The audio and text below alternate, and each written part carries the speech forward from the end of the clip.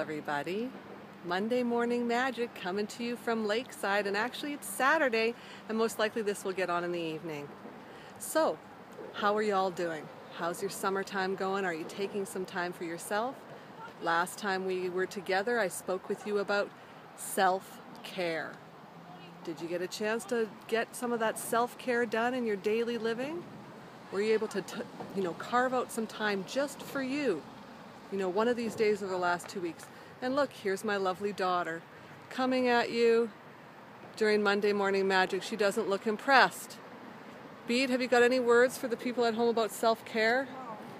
I'm afraid she's not too impressed. But on that note, I would just like to share with everybody that another very important piece of the self care part, not just taking time for yourself, is also exercise.